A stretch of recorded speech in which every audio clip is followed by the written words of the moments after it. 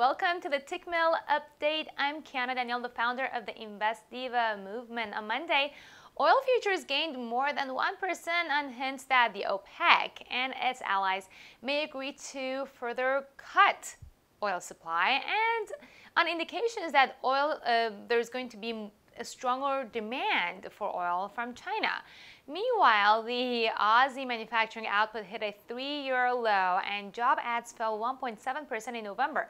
On Wednesday, Australia will release its GDP numbers for third quarter.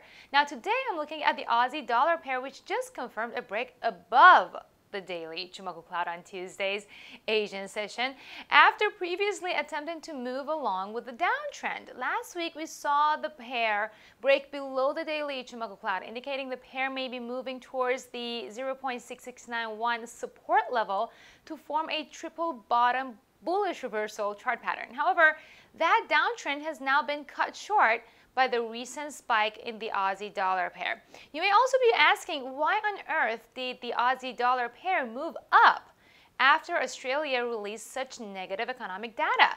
The reason lays with the US dollar, which had an exceptionally bad day across the board. That's why compared to the losing greenback, the Aussie actually came on top as a winner.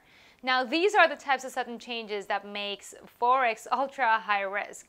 We still have more data from Australia to look forward to this week. So until then, I won't rely on the recent bullish Ichimoku signal for the Aussie dollar pair and wait to see if the US uh, dollar recovers towards the end of the week.